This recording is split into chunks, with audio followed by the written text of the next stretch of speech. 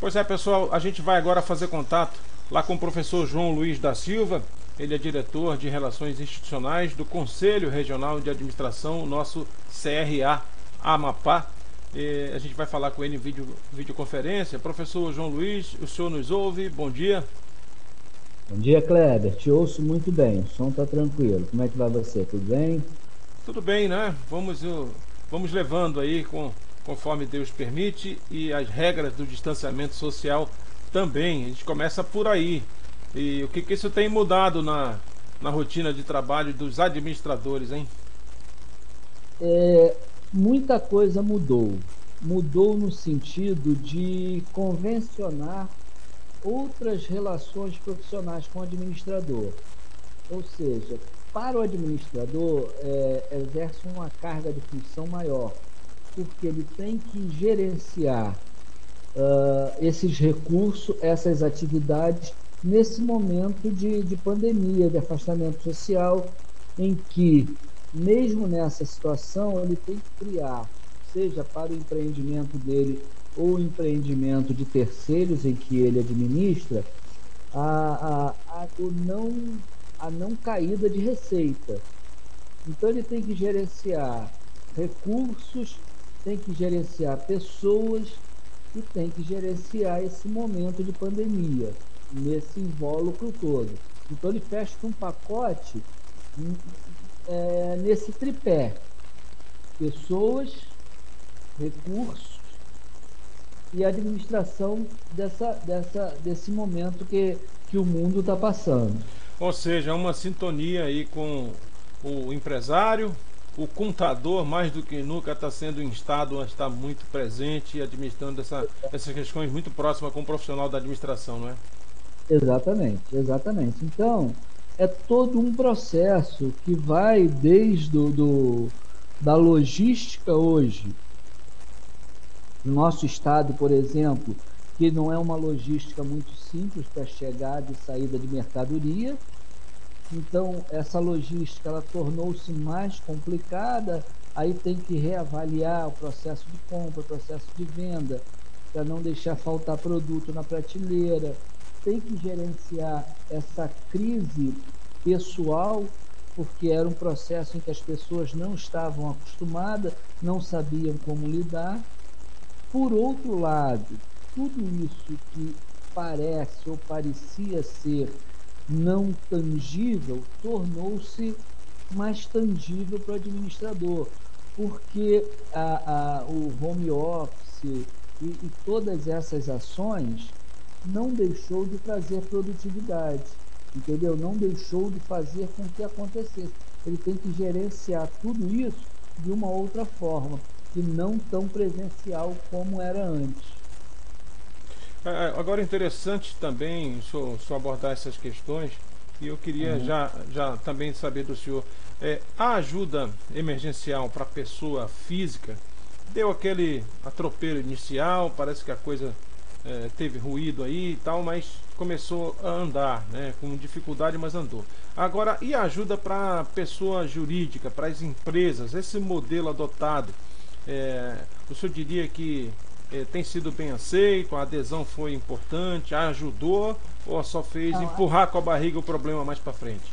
Assim, é, não sendo partidário, mas entendendo uma questão administrativa.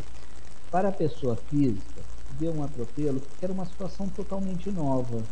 E tem as pessoas que têm a boa fé, que precisam receber, e tem as pessoas que não têm uma índole tão boa assim, que não precisam receber e aí acaba passando por uma peneira mais estreita, uma peneira mais fina e acaba atropelando. Mas vai é, azeitando-se as engrenagens e as pessoas vão voltando a ter o seu recebimento. Com relação às instituições, às empresas, algumas regras não ficaram muito claras para essa ajuda. E para muitas empresas acabou não acontecendo a ajuda financeira as empresas por si só tiveram que se reinventar, tiveram que fazer um modelo de negócio diferente. Então, é, eu vou te citar um exemplo de uma coisa que, que é muito que, que está sendo muito comum e foi até por uma sugestão que eu dei para, para essa pessoa. Existia uma, uma batedeira de açaí em que as pessoas não estavam saindo para ir lá comprar. Então ela acabou fazendo um, um grupo para entregar açaí em determinados condomínios.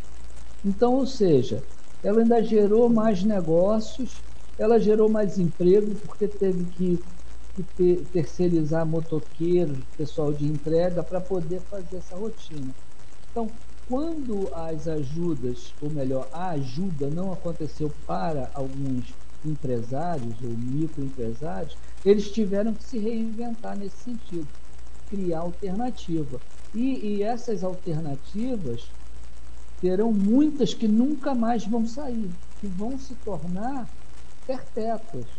O que a gente está fazendo via online, isso vai se tornar perpétuo porque a gente acaba economizando tempo, recurso e unindo várias pessoas de vários lugares por conta dessa, dessa reinvenção da tecnologia, da comunicação. Oh, eu falar em tecnologia, eu queria fazer um ajustezinho técnico só para o senhor é, é, ou baixar um pouco a sua câmera ou, ou, se levantar um pouco mais na cadeira que está cortando um pouquinho do seu queixo. Oh, ficou redondinho, ficou redondinho agora. Oh, perfeito. Outra coisa que eu queria abordar com o senhor, eu imagino, olha como o tempo passa rápido, né?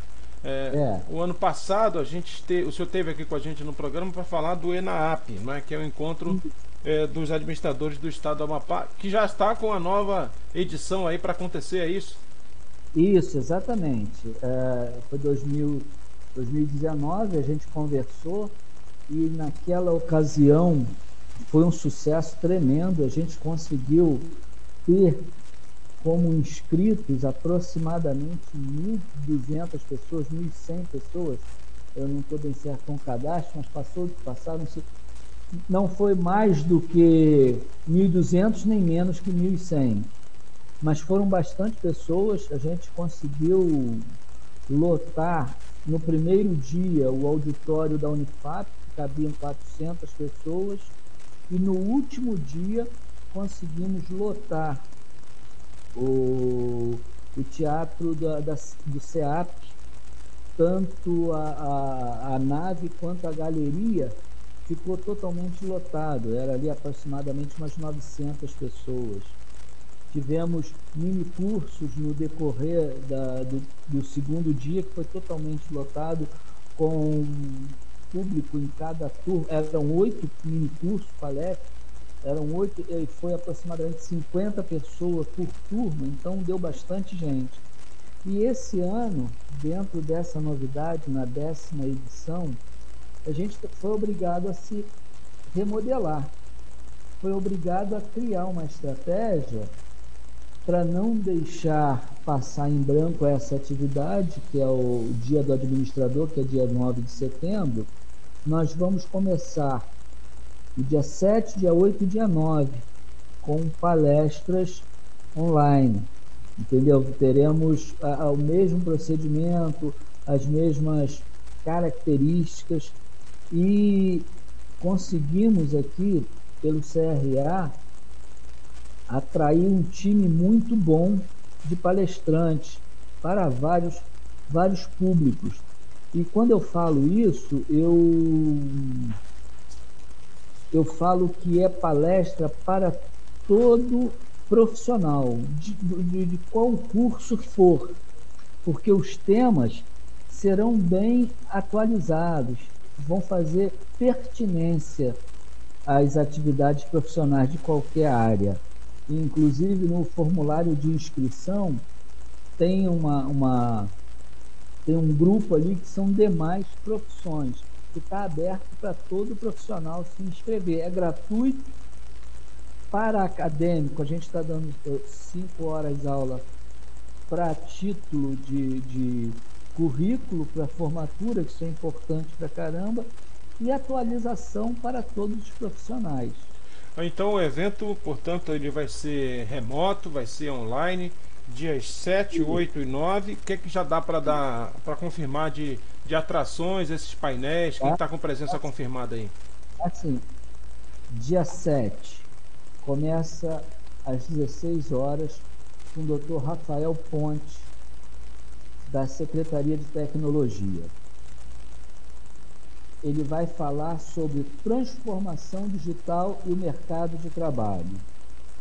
Às 19 horas, teremos o conferencista Alexandre Correia de São Paulo, que vai falar sobre inovação e criatividade em tempos desafiadores. No dia 8, às 19 horas, teremos o doutor Valdeir Garcia, que é o superintendente do Sebrae Amapá, que vai falar sobre empreendedorismo.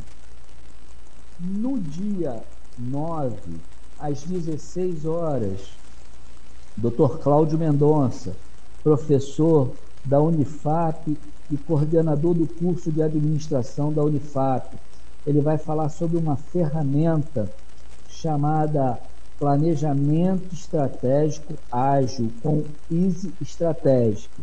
Então, isso vai servir para pequenos e microempresários, vai servir para uma infinidade de pessoas.